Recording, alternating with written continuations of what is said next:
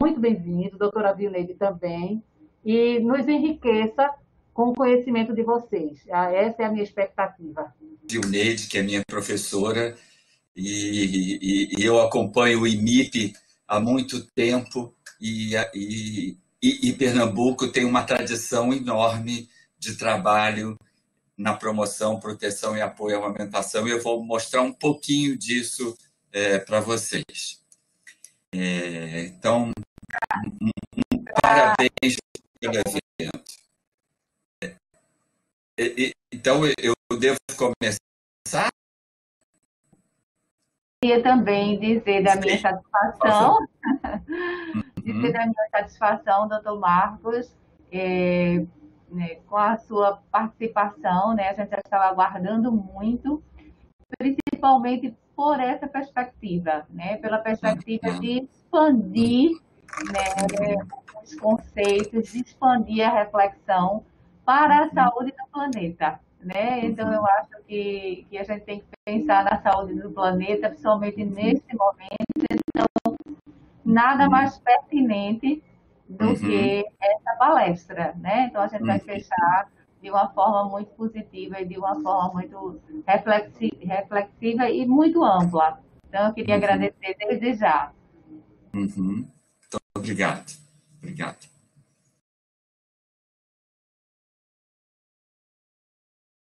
Então, eu, eu começo? Tá bom, então tá. Está é, tá contando aqui o tempo, eu prometo é, não, não me estender muito, é, para poder a gente ter tempo de, de, conversar. Eu vejo que tem muita gente aqui bacana, algumas, algumas pessoas eu conheço, é um prazer imenso estar aqui. É, a semana de vocês está sendo linda, é, vocês estão muito bem, é, parabéns por, por essa iniciativa, muito obrigado pelo, pelo convite. E eu dedico essa apresentação a todos os profissionais de saúde que é, estão trabalhando é, para conter essa pandemia que nos pegou todos de surpresa. Né? E, e esse seminário, sendo dessa forma, contribui para que a gente não é, prolifere o coronavírus. Né? Então, e muitos profissionais não podem estar aqui porque estão é, na linha de frente no combate à pandemia. Eu declaro que não tenho nenhum conflito de interesse relacionado com o tema é, desta palestra. É, amamentar é um ato ecológico. É, onde surgiu isso? Né? Por quê? Então, é isso que a gente vai, vai apresentar. Esse é o tema é, da Semana Mundial desse ano. Geralmente vem em inglês, porque é um tema internacional. A UABA propõe isso é, para todo mundo. Eu acho, Vilneide, que o seu microfone está ligado, não está? Eita, é. Pronto. Pronto, aqui. Aí não vai dar eco. Ah, obrigado. Daqui a pouco você pode falar. Quando, pode me interromper se eu cometer alguma gafe ou estiver fazendo alguma coisa inapropriada. Então, esse é o tema que a ABA nos propõe. Quando a ABA nos coloca um tema, a gente, a primeira reação é a gente ficar muito espantado, né? Como é que eu vou abordar isso? Mas essa, dessa vez, não foi assim, e eu vou explicar por quê. E dessa forma que a gente traduziu para o português. Apoia o aleitamento materno para um planeta saudável. Né? É... E a UABA nos mandou, é, graças a um trabalho dos, de alguns profissionais aqui no Brasil, a gente conseguiu traduzir o pôster para o português, conseguiu traduzir o folder então, o pôster e o folder estão no nosso SlideShare, que vocês podem baixar. Né?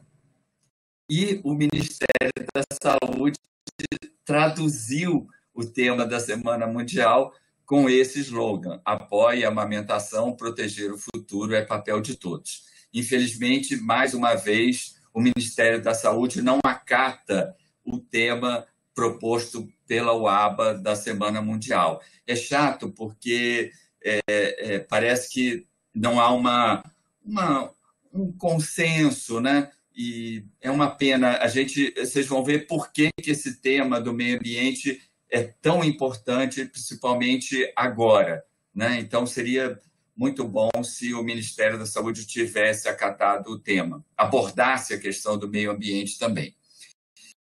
A gente teve a oportunidade de organizar esse seminário Amamentação para o Planeta Saudável. Vejo aqui que alguns de vocês que estão aqui participaram e foi uma experiência fascinante, porque a gente trouxe uma geóloga ambientalista, uma pesquisadora, uma designer, um pediatra, um sanitarista, uma nutricionista, e aí a gente pôde ter, é, se capacitar para ter uma, uma, uma, uma noção é, de, da complexidade desse tema. E eu vou trazer um pouquinho disso é, para vocês aqui hoje. Né? E eu gosto muito dessa, dessa desse, desse pensamento desse escritor mantém algumas recordações do seu passado? Ou como você irá provar que não era tudo um sonho? Né? Então, eu acho que a UABA deveria ter levado em conta a história desse tema, né? e, não, e não levou. Mas eu vou trazer aqui para vocês. É, na minha adolescência, eu assistia muito esse seriado, Túnel do Tempo, que eu achava fascinante. Né? Eles viajavam pelo tempo e eu vou convidar vocês para entrarem comigo nesse túnel do tempo e a gente vai cair na Rio 92, no ano de 92, aqui na minha cidade, no Rio de Janeiro. Por quê?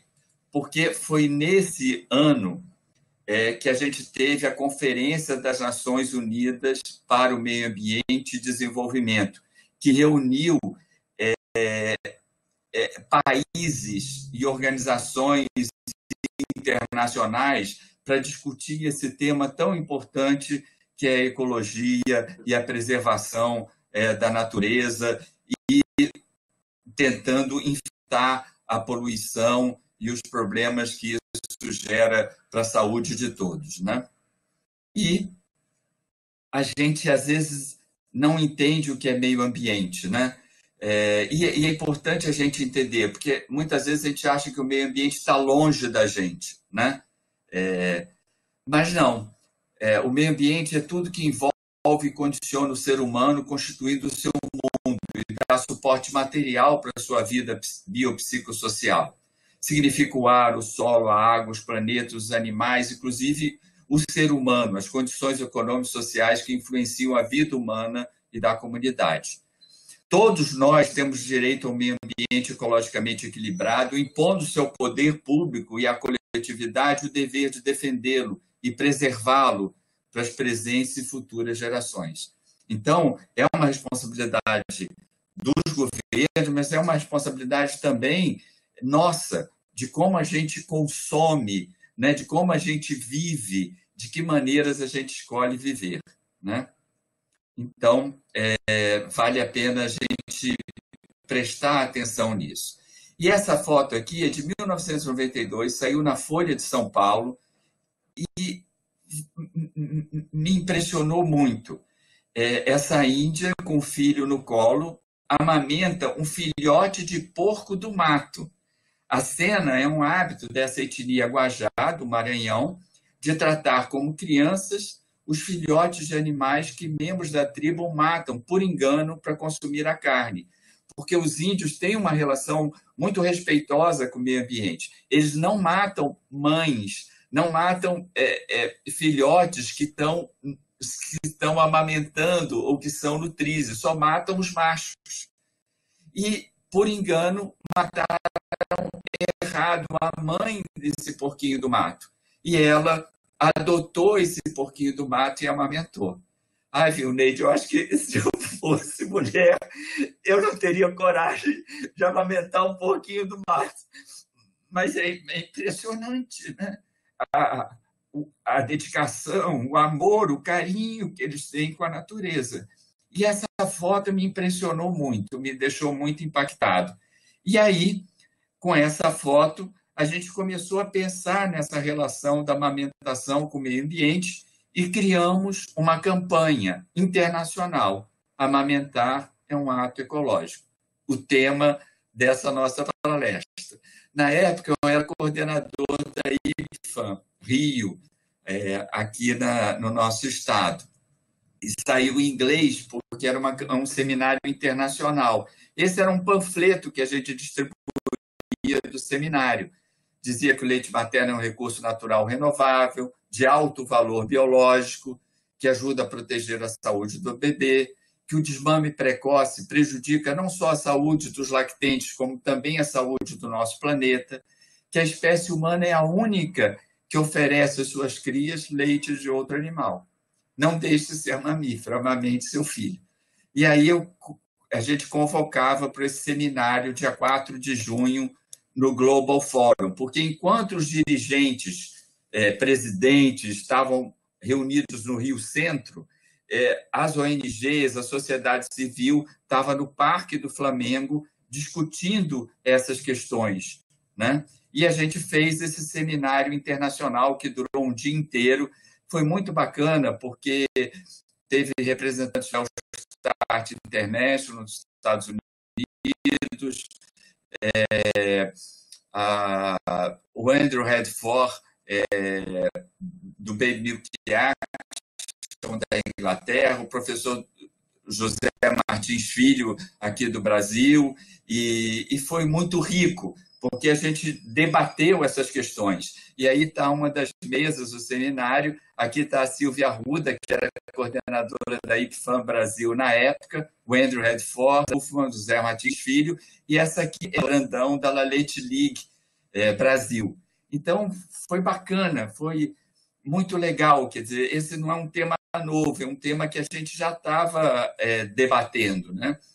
E é, tinha também durante eh, essa semana, a gente organizou estandes, aqui é um stand da, da UABA e da IFA, juntinhos, que a gente coordenou, é, recebendo as pessoas, conversando, tentando explicar por que é tão importante a amamentação para o meio ambiente também. Esse é um dos folhetos que a gente fez. É, felizmente, tinha, a gente tinha um designer é, sensacional e ele fez um, um folder como se fosse um trevo de quatro folhas, né? E aí, é, na capa tinha uma pergunta, por que amamentar é um ato ecológico, aí você abria o folder e tinha uma resposta. Cada vez que uma mãe oferece ao seu filho leite de vaca industrializado, ela não pode imaginar o quanto está prejudicando não só a saúde do seu bebê, como a saúde é, do meio ambiente. Né? É, e outra coisa sensacional que aconteceu é que existe esse, esse, essa na mitologia grega a Gaia, que é a deusa primordial da Terra, né? Ela própria criou, se criou e a partir do caos criou tudo que conhecemos hoje. E o planeta Terra em si é Gaia. Então o planeta Terra é chamado de Gaia né, por causa dessa mitologia grega. E a Andrea Zimmermann, que foi a geóloga que participou do, do seminário, nos trouxe essa teoria de 2006, que é a hipótese de Gaia, que a Terra é um sistema completo, complexo, autorregulado, composto de componentes físicos, químicos, biológicos e humanos. Ou seja, é como se a Terra fosse um organismo vivo, que tivesse um metabolismo, uma fisiologia própria, né? que, que tenta se autorregular apesar da ação humana. E é uma teoria muito interessante que agora é aceita cientificamente. Né? E, por sorte,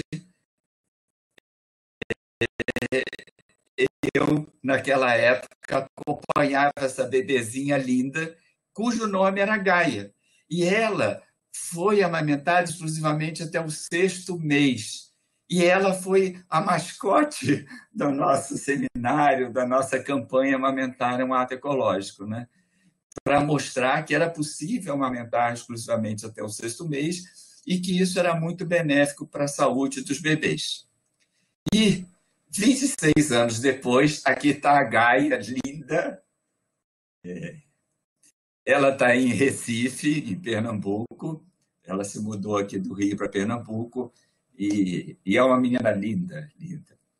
É uma ativista ambiental agora e muito saudável, muito, muito querida.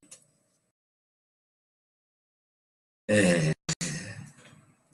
E naquela época a gente tentava mostrar como a fórmula infantil gasta recursos do planeta, energia, é, metais, plásticos, combustível, água, madeira, ao contrário da amamentação, que não deixa uma pegada ecológica. Né?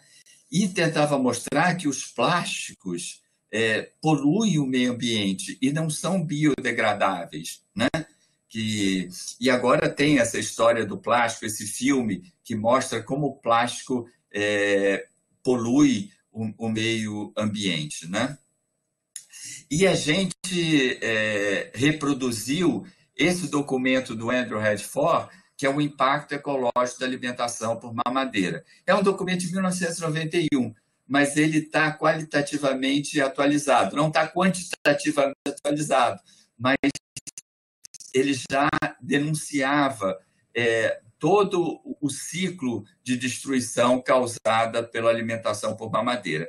E aí, em homenagem a vocês, de Olinda, Recife, esse, esse caderno do Grupo Origem, que é um caderno muito, muito querido, né? É, a gente digitalizou para poder, porque naquela época não estava digitalizado, e é um, uma história em quadrinhos que mostra por que, que amamentar também é um ato ecológico, né? É, do nosso saudoso grupo Origem é, de Recife. Vocês podem baixar também no nosso SlideShare. E é, a Denise tentava ilustrar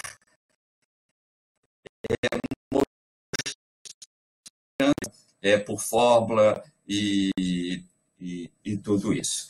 É, e agora eu quero de novo convidar vocês para irmos a outra época no túnel do tempo. Quero que vocês me acompanhem e cheguemos agora a 1997. Em 1997, amamentar é um ato ecológico também foi tema da Semana Mundial de Amamentação. Esse é um cartaz em espanhol, né? E tem o folder também em espanhol que a gente conseguiu é, é, podem baixar porque é muito bacana, principalmente as ilustrações que eu achei muito feliz do Paulo Silva, ex-marido da, da Denise Arcoverde, também de um pernambucano, né? Então, eu não sei qual dos dois é chinês e qual é um japonês, mas aí tá. Ele, ele, de uma forma sensacional, ele tentou mostrar todas as etnias para que se sentissem representadas. E eu achei lindo esse logotipo do bebê mamando no seio, mas mãe do planeta Terra, que é uma mãe para todos os seres vivos. Né? E eu tive a oportunidade de escrever um capítulo sobre esse tema nesse livro em espanhol, né? É, tentando explicar é, isso tudo, é, dando dados científicos. Né? E, e, e pesquisando, é, eu, eu quero perguntar a vocês qual o mamífero mais populoso no Brasil, incluindo a espécie humana? É, no seminário é, onde, onde eu perguntei isso, falaram é o rato. Não, não é o rato, é o gado. É, o Brasil tem 208 milhões de habitantes. No entanto, a gente tem 218 milhões de cabeças de gado. Então, é um país bovino. Temos mais gado do que gente no nosso país. E vocês não imaginam o estrago que isso faz. Porque, além de ter muito gado, você tem que ter muita soja para alimentar esse gado. E, e para ter gado no Brasil, infelizmente, é, é, a pecuária é atrasadíssima. É, tem esse modelo de extensão, onde o gado fica solto, você tem que tocar fogo para a mata é, acabar, para nascer um capim fraco, para que o gado consiga comer esse capim. Então, é, é, e, e, e, a, vaca elimina gás metano. E eu me lembro que na época a gente foi muito criticado por dizer isso, porque a, a gente o, falaram que o, é o pulo da vaca que está poluindo o ambiente, como se isso não fosse verdade. E é verdade, hoje em dia a gente sabe disso. Então, a Raquel, nutricionista que, que teve no nosso seminário, falou que a expansão da criação do gado envolve práticas ilegais, o desmatamento, a grilagem de terras, o uso extensivo de agrotóxicos e a principal fonte de emissão de gases de efeito estufa no Brasil é a agropecuária, responsável por 70% das emissões em 2017. Então, não é o carro que polui, né? é, é a pecuária extensiva. E são necessários mais de 4 mil litros de água para produzir apenas um quilo de leite em pó.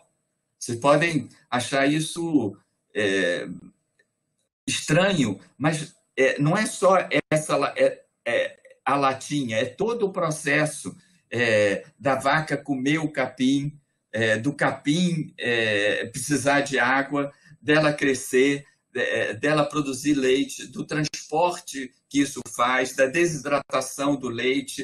Então, você vê que é caríssimo um quilo de leite em pó, no, do ponto de vista ambiental. Né? E a, esse grupo Maternidade Consciência, que é um grupo sensacional, é, mostra que na fabricação e distribuição das fórmulas estão envolvidos vários custos ambientais, a emissão de CO2 para cada quilo de forma equivale a 44 quilômetros rodados por um carro. Né? E é, isso é recente. Então, você vê como é custoso é, a fórmula infantil do ponto de vista ambiental. Né? Então, ah, quando eu transpus para cá, ficou. É, é, é, desregulou o meu design. Então, é, aqui estava bem, bem grande. Por que, que a UABA repetiu o tema da Semana Mundial? A gente já discutiu isso em 97. Por que, que a gente repetiu? Eu não perguntei o ABA, mas eu tenho duas, duas, duas hipóteses. Primeiro, é, existem semanas mundiais antes da internet e as semanas mundiais depois da internet. A Vilneide vai compreender isso. Quando a primeira e segunda, a terceira, a quarta, a quinta semana mundial chegou aqui, chegava por correio, não tinha site, não tinha é, e-mail é, como a gente tem hoje. Então a gente acabou não comemorando a Semana Mundial de, de 97 como deveria com a capilaridade que tem hoje, porque a gente usa as redes sociais, a internet. Né? E uma outra resposta são as mudanças climáticas, a emergência que a gente tem do clima. A gente está sentindo na nossa pele essa, essa emergência climática. Então, quais são as consequências da mudança do clima? A extinção das espécies, a elevação da temperatura, a alteração da frequência de chuvas, a elevação do nível do mar, a intensificação de fenômenos meteorológicos, por exemplo, tempestades severas, ciclones, inundações, vendavais, ondas de calor ou ondas de frio, secas prolongadas, as, as nuvens de gafanhoto que estão é, nos países do Sul, quase chegando ao Rio Grande do Sul. Isso reflete um desequilíbrio no meio ambiente. E por isso que isso deve ser a pauta. Né?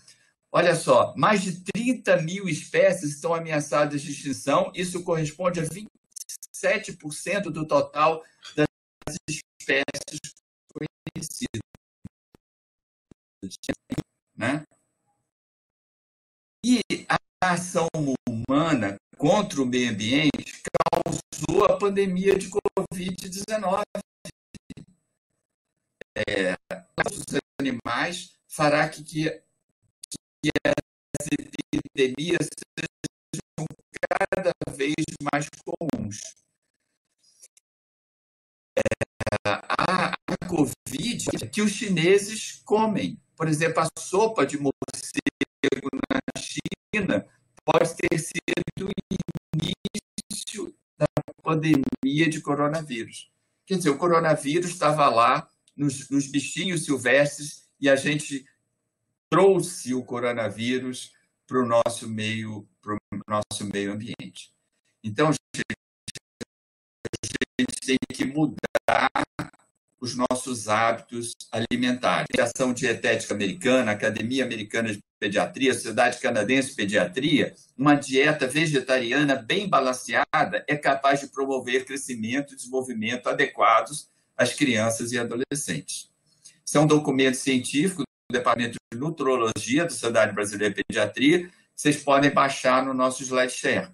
A gente vai ter que começar a comer menos carne, é, para poder agredir menos o meio ambiente. Né?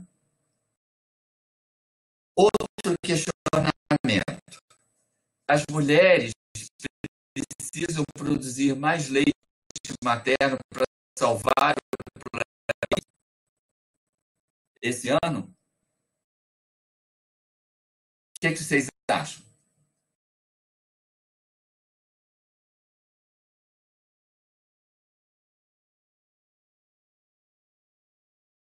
Gente, a gente não quer que as mulheres carreguem o mundo nas costas mais do que elas carregam. Né? Então, apoiar o aleitamento, o que, que significa? Ou apoiar a mulher que amamenta. Né? Parece a mesma coisa, mas não é. Essa foto também, eu gosto muito de imagens. Essa foto também me impressionou muito a mãe carregando o mundo nas costas, carregando a, lenha para esquentar o, o alimento e ainda por cima amamentando. A gente sabe que a carga de trabalho sobre a mulher é imensa. A gente não quer que ela amamente para salvar o mundo. A gente quer que ela tenha o direito de amamentar e que ela tenha um apoio enorme e que esse trabalho que ela tem de amamentar seja reconhecido. Aqui, no diário de vocês, no diário de Pernambuco, né? É, mulheres amparadas por redes de apoio amamentam por mais tempo. Nutrizes que recebem ajuda da família, até vizinhos, têm mais condições de amamentar.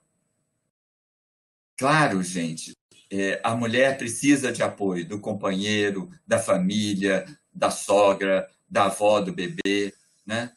Mas também é, a gente não pode deixar é, por conta é, da família, né? A gente tem que ter políticas públicas de amamentação. É um dever do Estado prover essas políticas públicas de apoio. Dever do, do município de Recife, do estado de Pernambuco e do governo federal. Né? E nós temos muitas boas políticas de apoio. Né? E é dever também é, das sociedades é, é, assumirem é, a promoção da amamentação também.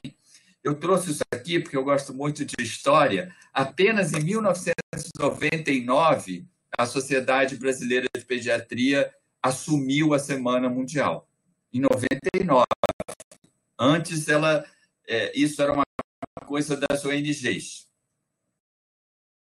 Apenas em 2004, o governo federal assumiu as Semanas Mundiais como uma política pública. Esse é o primeiro cartaz de uma Semana Mundial patrocinado é, pelo Ministério da Saúde. Quer dizer, demorou de 1991 até 2004 a gente, é, o governo entender que isso era uma política pública necessária. Né? Então, gente, uma outra coisa, nós estamos no agosto dourado, claro, e, e bacana, porque era uma semana e a gente conseguiu multiplicar por quatro. Então, estamos no agosto dourado. É, aumentamos em quatro as semanas mundiais, né? É, bacana. Mas a gente não pode é, só celebrar a Semana Mundial em agosto.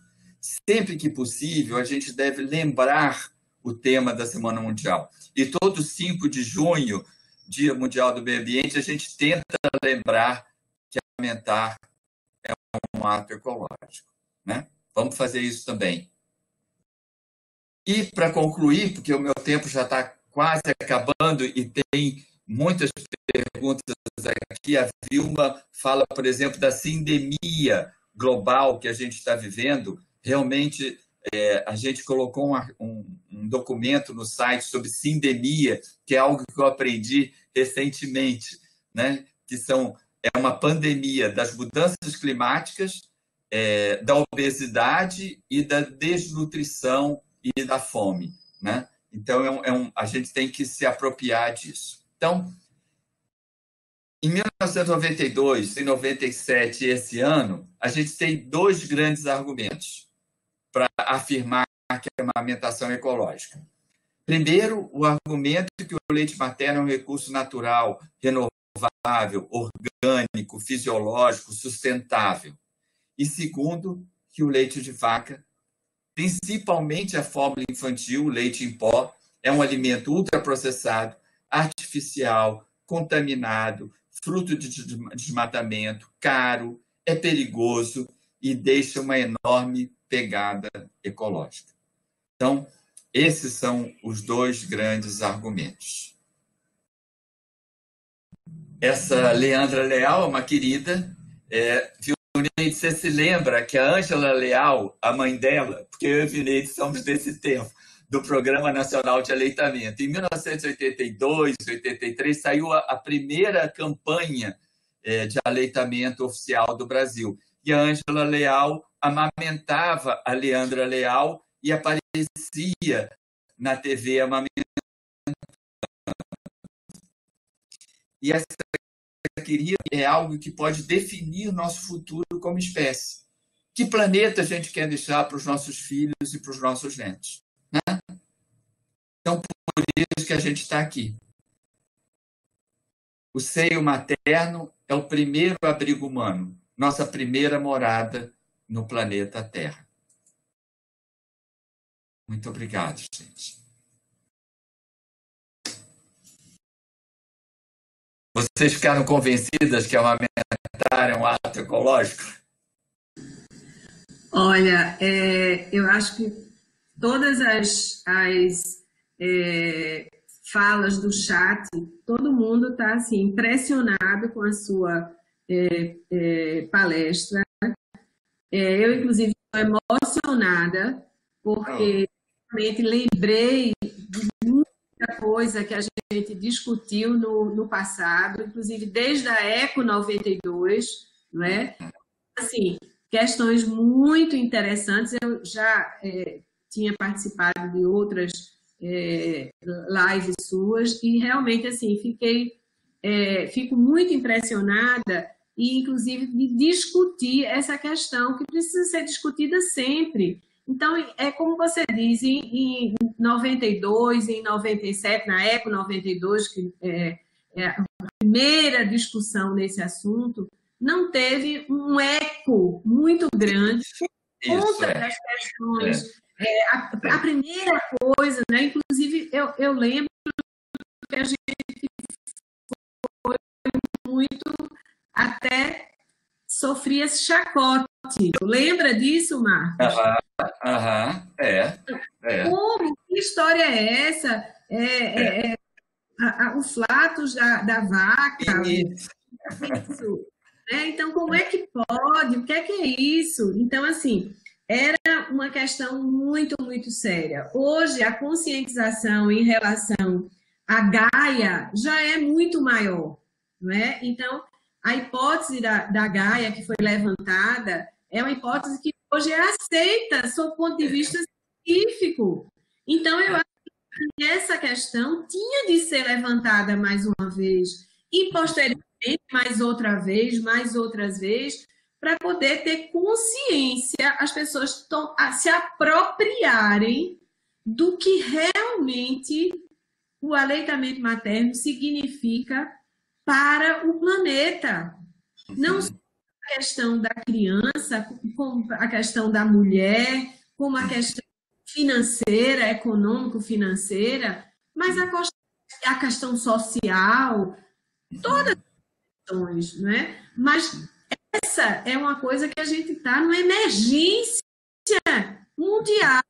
A gente precisa se apropriar desses dados. Então, assim, amanhã, realmente, como eu disse já no chat, iluminada, da gente ser possível ter você aqui tão atarefado com tantas outras questões para resolver, tirar esse tempinho para discutir essa questão importante com a gente.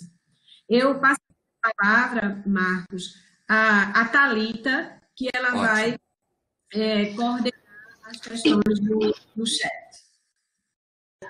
Obrigada, doutora Vioneide. Obrigada, doutor Marcos. Excelente apresentação, muito emocionante. A gente vê assim, cada detalhe né, do quanto a amamentação é, é de fato um ato ecológico.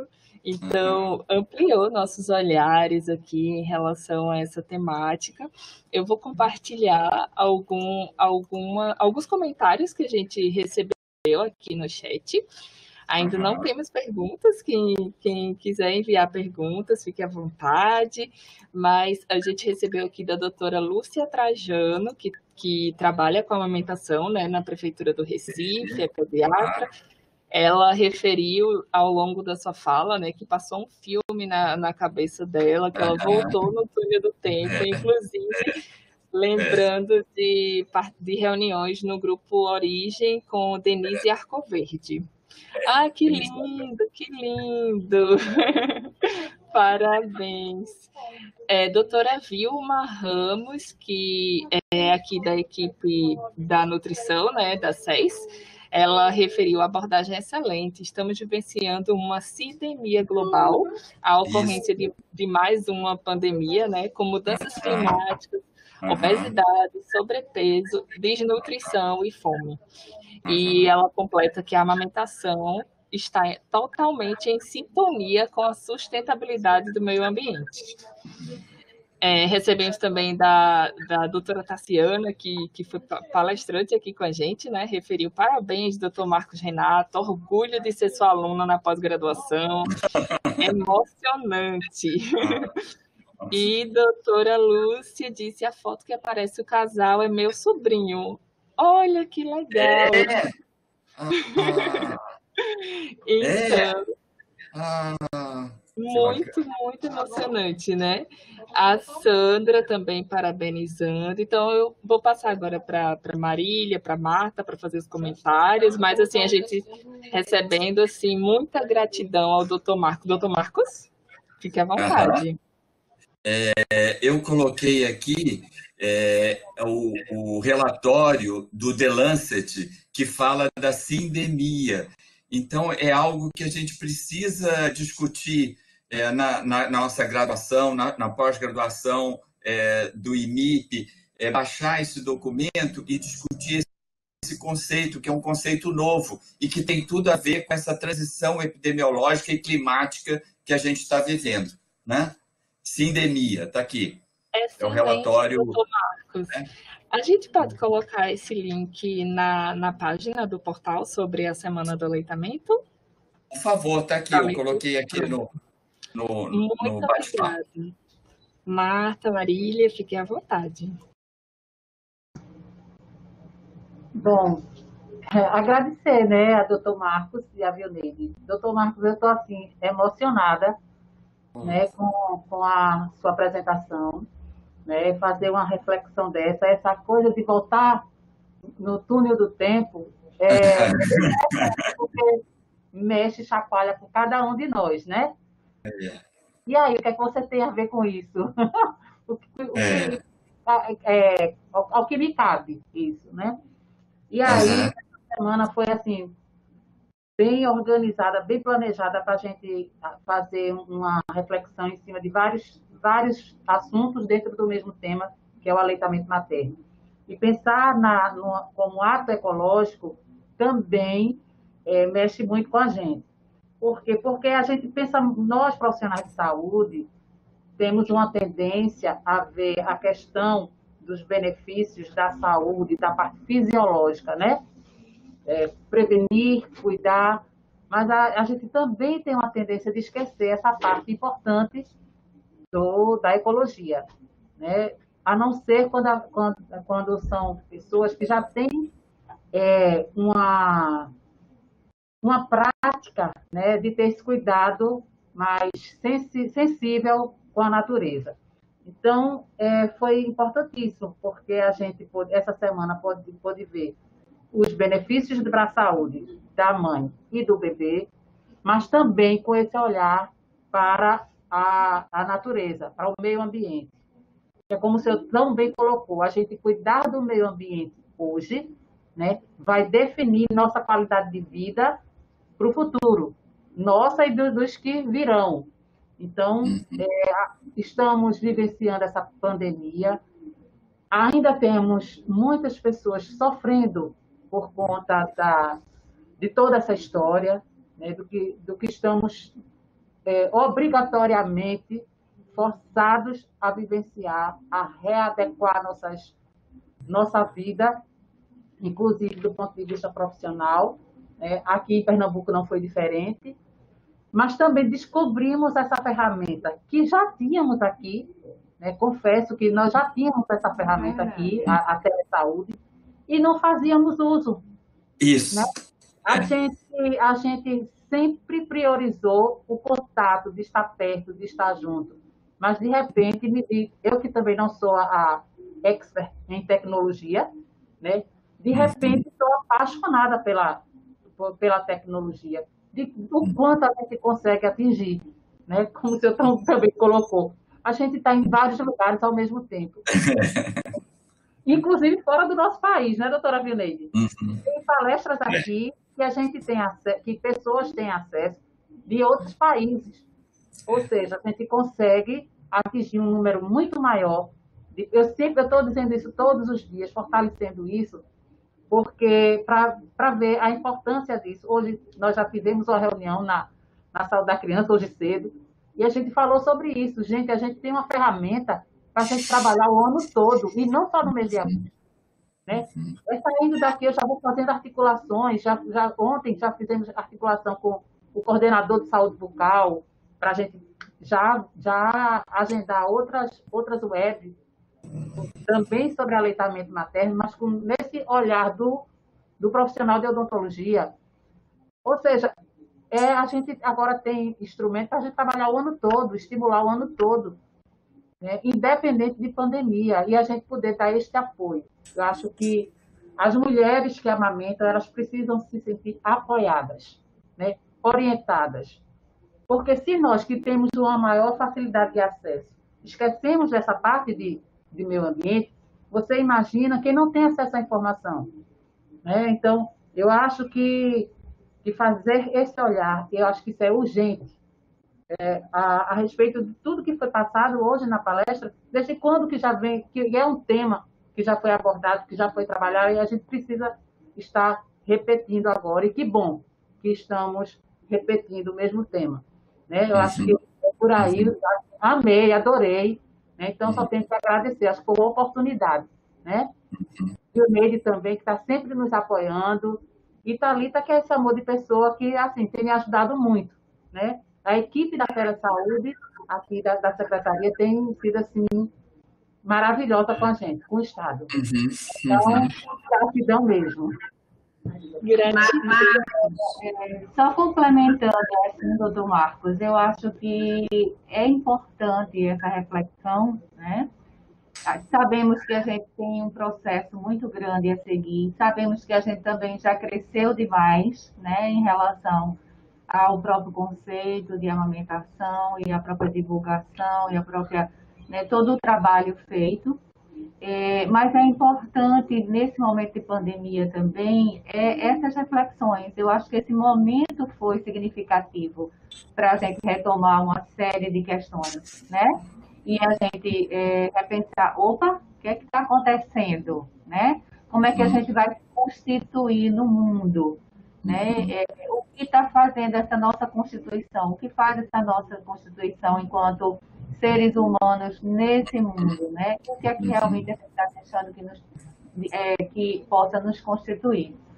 Eu sei que a linguagem é uma forma de constituição, né? Uma forma de representar essa constituição de ser humano no mundo, né? Mas eu acho que essas reflexões, essa perspectiva também vai fazer com que a gente cresça mais enquanto profissionais de saúde, mas enquanto ser humano de uma forma geral, e eu acho que essas primeiras reflexões aqui foram importantíssimas.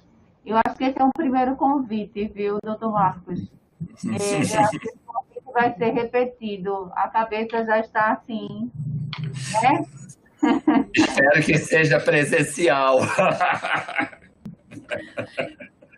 Eu, eu gostaria. Eu gostaria de ler uma mensagem aqui de Maria José Matar, que ela disse que não é, colocar no chat, pela, pela, ela não conseguiu acessar o chat. Ela disse, maravilhosa apresentação, viu, Neide? Nós que participando das comemorações da Semana Mundial de Amamentação desde 1992, foi um excelente resgate histórico lembranças do material do Grupo Origem para trabalhar com escolas, com as bonequinhas. Parabéns, Marcos Renato. Não consegui enviar pelo chat, mas gostaria de deixar aqui a, a minha, é, a, a, minha, a minha opinião sobre a, a palestra. Oh, né? que...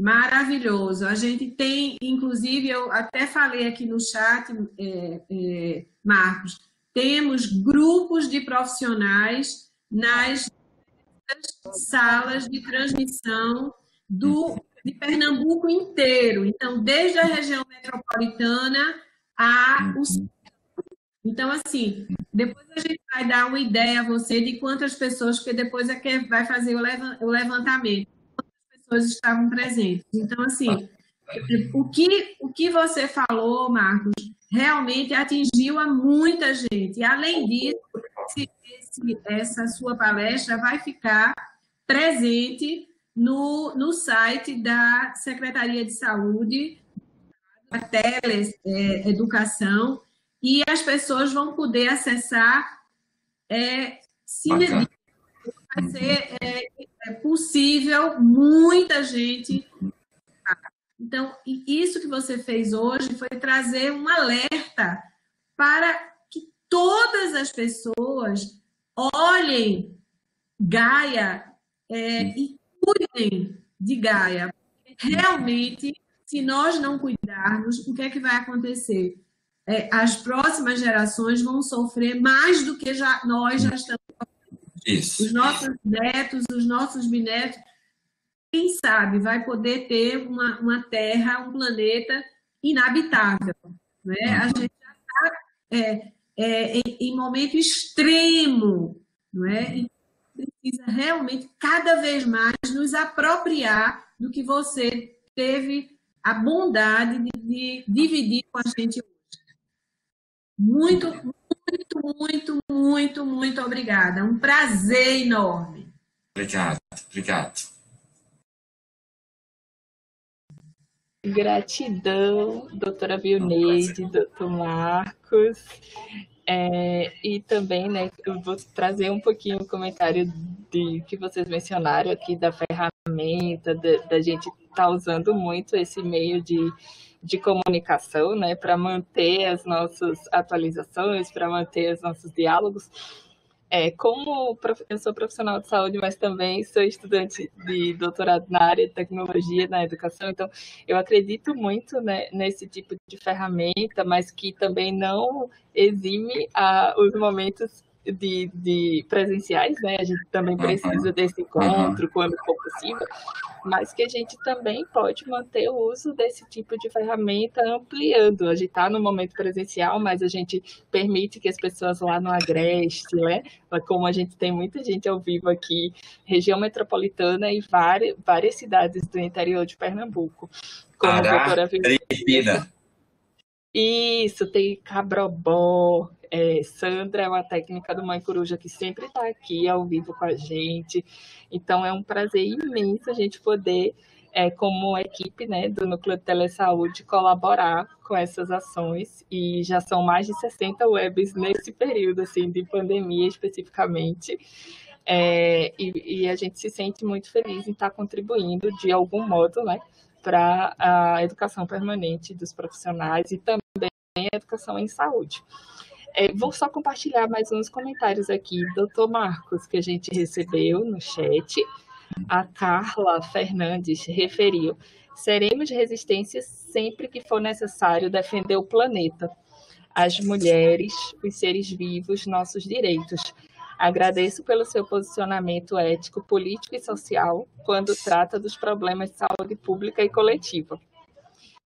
Doutora Lúcia Trajano é, também trouxe um pouquinho dessa reflexão, né, de a gente teve que se reinventar nesse momento de, de pandemia da Covid-19, né, usando tecnologias e também expandindo a possibilidade de discutir, levar temáticas para locais distantes em tempo real, né, como o doutor Marcos falou para a gente, doutora Vilneide, que está participando de diversas webs né, é, é, em locais que não daria para ir no mesmo dia, né? Todos esses locais que estão muito distantes geograficamente.